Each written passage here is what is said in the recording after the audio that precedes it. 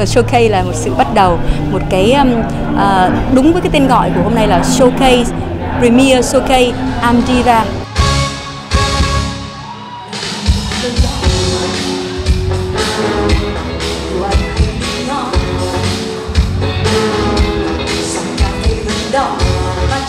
có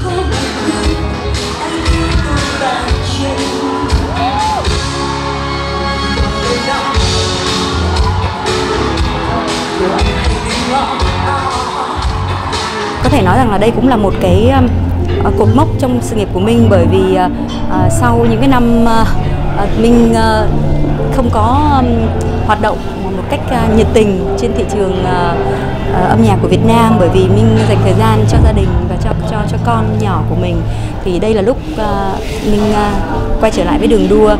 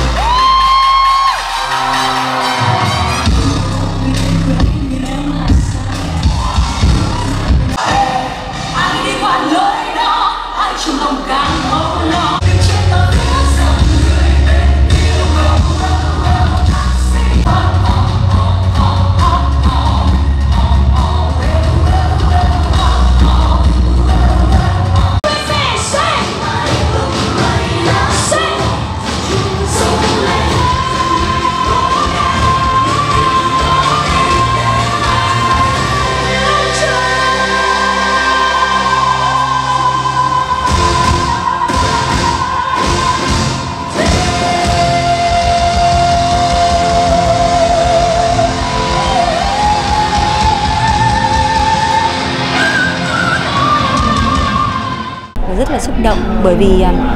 uh, mọi người thì cứ nghĩ rằng là uh, trong showbiz thì luôn có những cái sự mà uh, uh, đấu tranh ngầm. Nhưng mà cái ngày hôm nay thì thì thì mới thấy rằng là uh, Minh rất là hạnh phúc khi mà nhận được cái sự ủng hộ của tất cả những cái người bạn đồng nghiệp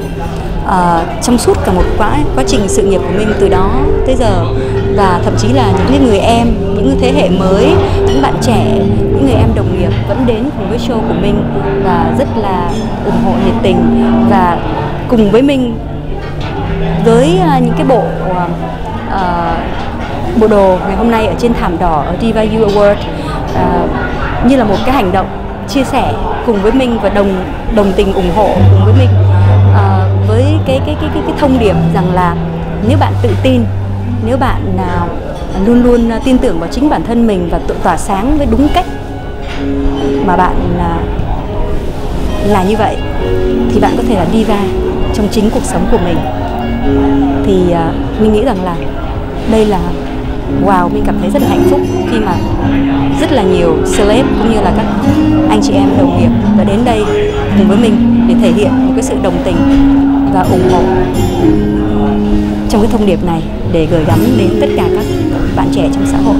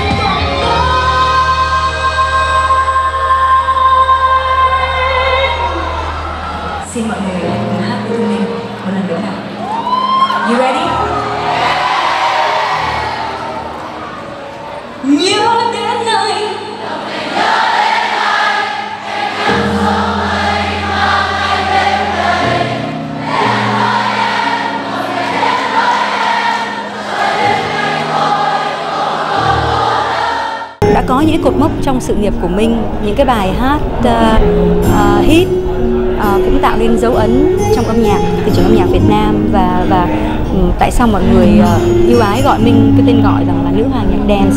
Bởi uh, chắc chắn là không phải là Minh uh, nhảy giỏi hay là uh, sexy hay là là là có thể đẹp hơn bất kỳ uh, một bạn ca sĩ đồng nghiệp nào cả. Nhưng bởi vì có lẽ Minh đã là cái người mà mở đầu cho xu hướng âm nhạc dance ở Việt Nam. Chính vì như vậy mình Minh nghĩ rằng là nó cũng như là một cái một cái số phận một cái số phận trong cái sự nghiệp âm nhạc của mình đó rằng là Minh luôn luôn phải là người nghệ sĩ uh, tìm kiếm và phát triển những điều mới mẻ.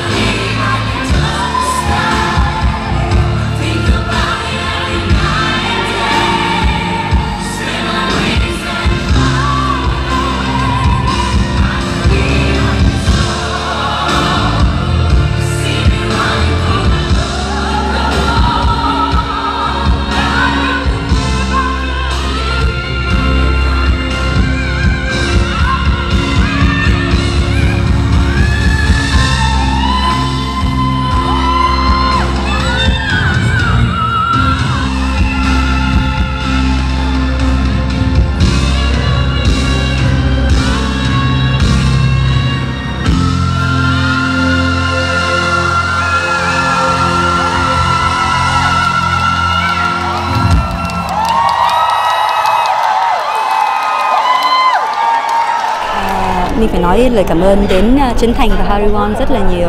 Bởi vì à, với cái sự kết hợp lần này thì à, công sức từ Trấn Thành và Harry Won bỏ ra rất là nhiều. Và và và chính hai bạn cũng là là là cái người mà uh, giúp cho mình take care cho Sohan trong cái những cái uh, thời gian ở đây. Bởi vì mình quá bận rộn cho cái show diễn này. Một lần nữa cảm ơn Trấn Thành và Sohan uh, cảm ơn Trấn Thành và Harry Won rất là nhiều. Cảm ơn hai em thì ờ, cái showcase này giống như là một cái ờ, premiere uh, trong một cái dự án của Thu Minh uh, và, và cái bài hát Am Diva là một cái phát sóng đầu tiên trong cái dự án này. Thì uh, uh, xin được công bố luôn rằng là đây là một trong số những cái bài hát uh, trong uh, album mà Thu Minh đang thực hiện cùng với Mew Amazing và Slim D.